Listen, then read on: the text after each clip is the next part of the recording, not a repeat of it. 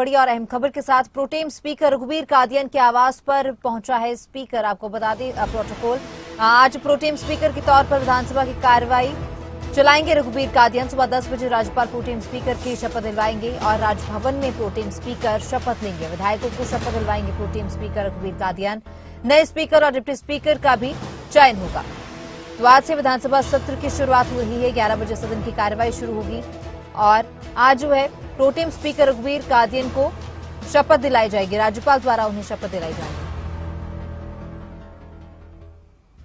और इस पर ज़्यादा जानकारी के लिए हमारे स्टेट हेड जितेंद्र चौधरी जुड़ चुके हैं। जितेंद्र जी, आज से जो है विधानसभा सत्र की शुरुआत हो रही है। सभी विधायकों को शपथ दिलाई जाएगी, लेकिन उससे पहले प्रोटेम स्पीकर को राज्यपाल शपथ दिलाएँगे। क्या कुछ ताज़ा अपडेट है इस पर?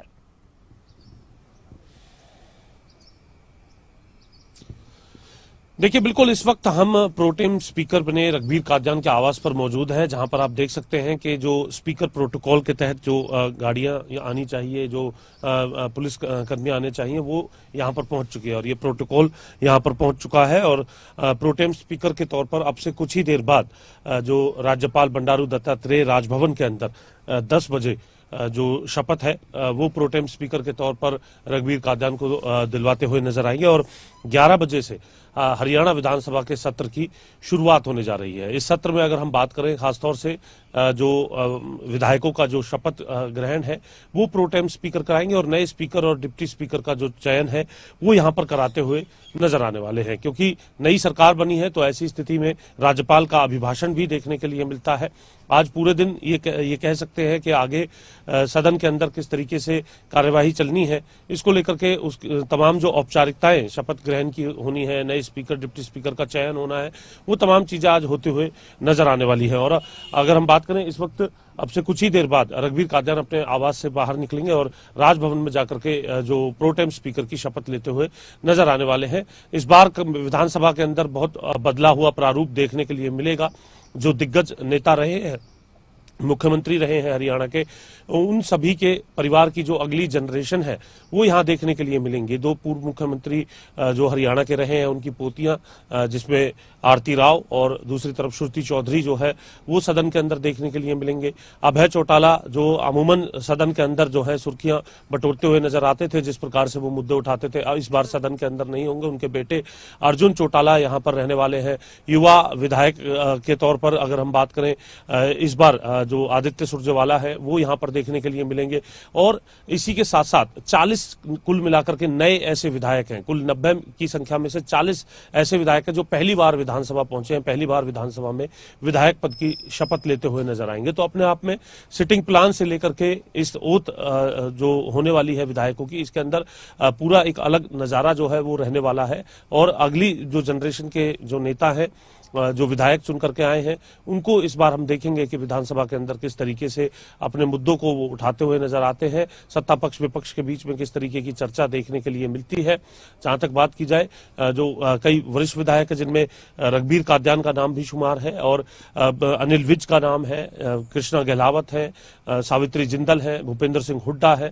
ये वो विधायक है जिनकी सत्तर साल से अधिक की उम्र है। तो ये कहा जा सकता है कि जहाँ युवा जो विधायक है, वो इस सदन में देखने के लिए मिलेंगे। तो अपने आप में जो राजनीति के जो दिग्गज है जो वरिष्ठ नेता के तौर पर भी है और अब ये कह सकते हैं कि उनकी उम्र भी सत्तर साल से अधिक है। ऐसे भी नेता जो है इस सदन के अंदर देखने के लिए मिलने वाले हैं और अपने आप में ये जो सिटिंग प्लान से लेकर के और किस तरीके का नज़ारा होगा। हालाँकि दूसरी तरफ़ अगर हम बात करें, अभी तक भी कांग्रेस ये तय नहीं कर पाई है कि उनके विधायक दल का नेता कौन होगा।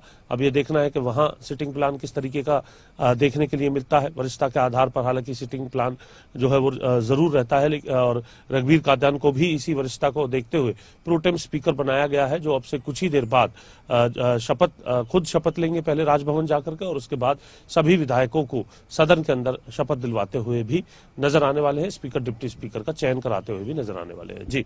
बिल्कुल, जितेंद्र जी, ये पहली बार नहीं होगा जब रघुवीर कादियन को जो है प्रोटीम स्पीकर की शपथ दिलाई जाएगी। इससे पहले भी 2014-2019 में उन्होंने जो है उन्नीस पद की शपथ दिलाई गई थी। और इसी के साथ अगर हम हरियाणा विधानसभा की अगर हम बात करें, इस बार जो नतीजे थे ना, वो बहुत ज़्यादा चौंकाने वाले आए थे। लगातार तीसरी बार अब हरियाणा में बीजेपी की सरकार बनी, ऐतिहासिक जीत दर्ज की गई। लेकिन विधायकों के लिहाज से अगर हम देखें, अनुभव के लिहाज से अगर हम देखें तो ऐसे विधायक बीजेपी और कांग्रेस दोनों के पास है जो कि लगातार दो से तीन बार विधायक बने हैं। तो इस बार विधानसभा में हंगामा भी बराबर का हो सकता है क्योंकि सत्ता पक्ष और विपक्ष दोनों के पास अनुभवी जो एमएलए हैं वो ज़्यादा है।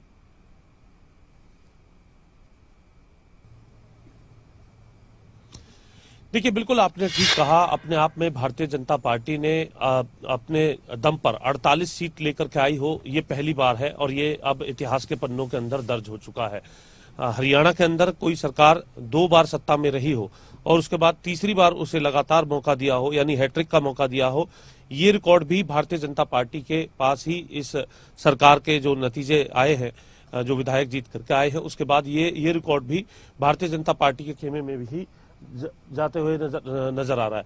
और इसी के साथ साथ अगर जिस तरीके से आपने वरिष्ठ विधायकों की बात की, युवा विधायक तो है ही, जो अपनी एक नई एनर्जी के साथ, एक नए सिरे से विधानसभा के अंदर किस प्रकार से मुद्दे उठाएँगे, वो देखना होगा कि किस तरीके से उनकी भूमिका जो है नए विधायक के तौर पर होगी, क्योंकि इससे पहले विधानसभा के अंदर ये चलन देखने के लिए मिला था।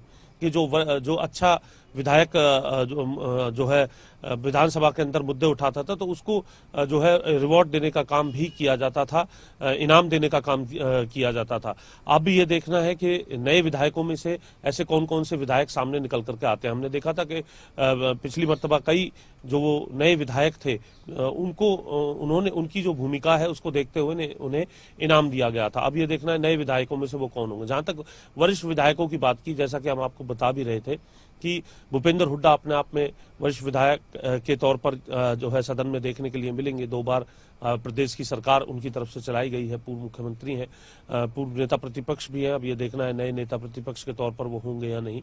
और साथ ही साथ रघबीर कादयान जिन्हें प्रोटेम स्पीकर बनाया गया है कांग्रेस के विधायक है ऐसी स्थिति में सबसे ज़्यादा बार जीतने वाले विधायकों में या तो रघबीर कादयान का नाम है या अनिल विज का नाम है। अनिल विज अम्बाला कैंट से विधायक है सरकार में कैबिनेट मंत्री हैं तो सामने रघबीर काद्यान है। इस तरीके के जो जो वरिष्ठ विधायक हैं उनकी संख्या भी है। अगर हम बात करें कृष्ण पवार भी इसी तरीके के वरिष्ठ विधायक हैं जो करीब पाँच से छह बार जो है वो जीत करके आ चुके हैं।